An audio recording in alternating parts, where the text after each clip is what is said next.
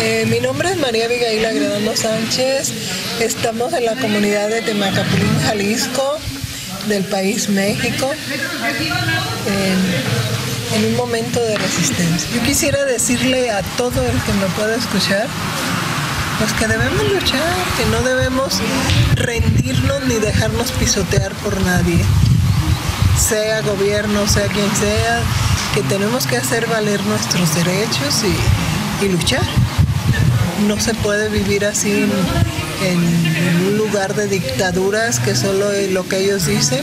Tenemos que luchar y algún día hacer un mejor país para nuestros nietos, nuestros bisnietos, yo en mi caso que tenemos que hacerlo.